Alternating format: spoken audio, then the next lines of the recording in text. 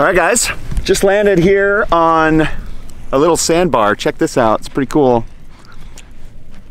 and very pretty.